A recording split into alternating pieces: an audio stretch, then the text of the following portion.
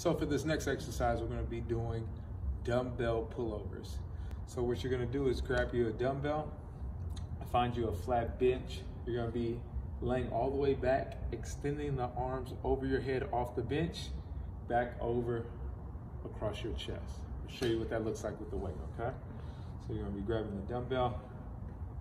We're gonna be laying all the way back. Our head's gonna be at the edge of the bench. Weight's gonna be over our chest. We're gonna bend at the elbows, coming all the way back. Good stretch. And then right back over. So we're gonna be bending, taking all the way back, and right back over our chest.